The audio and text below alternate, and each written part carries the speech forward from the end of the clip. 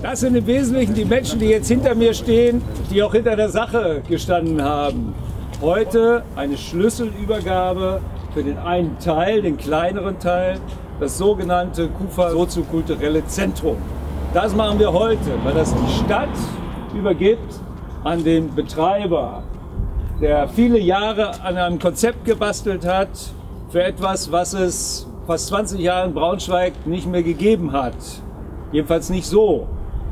Viele erinnern sich noch an das alte FBZ und es ist eben seit 2002 nicht mehr existent. Und sicherlich hat es in der Zeit auch gute Ideen gegeben und gute Orte in Braunschweig, die einen Teil dessen abgebildet haben. Aber irgendwie war nicht nur bei mir das Gefühl, hier fehlt was.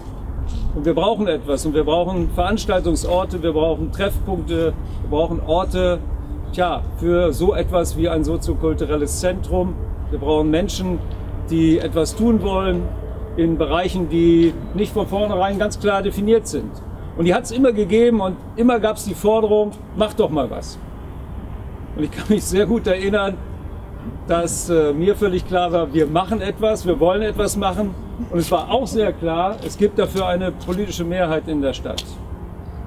Dass es dann doch so lange gedauert hat und mit so viel Schwierigkeiten verbunden ist. Nun ja, das hätte ich mir nicht gedacht.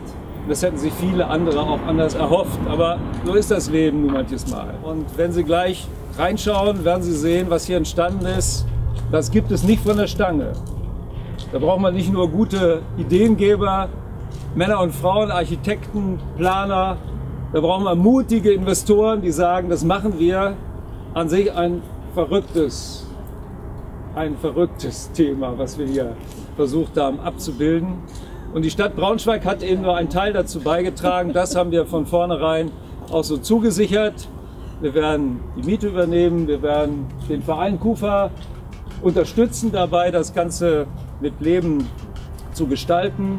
Wir werden das positiv, kritisch, konstruktiv, so wie man uns alle kennt, auch die kulturelle und auch die politische Landschaft in dieser Stadt begleiten und weiterentwickeln wollen. Ich sage dem Verein herzlichen Dank auch dafür, dass Sie so lange durchgehalten haben auch andere Orte sich schon mal vorgenommen hatten, mutig nach vorne gegangen sind, ein bisschen zurückgepfiffen worden sind, nie aufgegeben haben.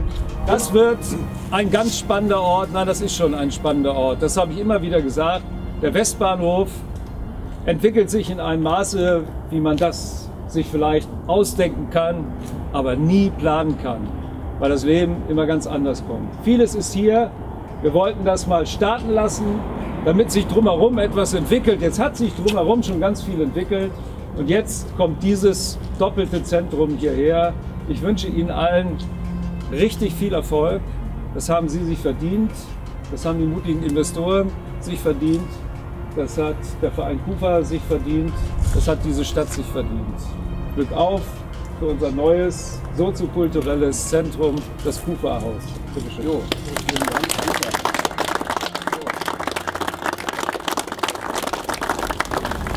Ja, Herr Markroth, vielen Dank äh, an Sie und die Stadt Braunschweig und für die bisherige sehr gute Zusammenarbeit mit der Stadt. Es hat sich ein bisschen hingezogen, ist aber auch gut so. Gutes Ding will Weile haben. Und jetzt freuen wir uns, dass wir jetzt in Kürze schon starten können. Und wir merken täglich, wie groß der Bedarf ist. Es geht jetzt so nach und nach los. Darauf freuen wir uns. Vielen Dank.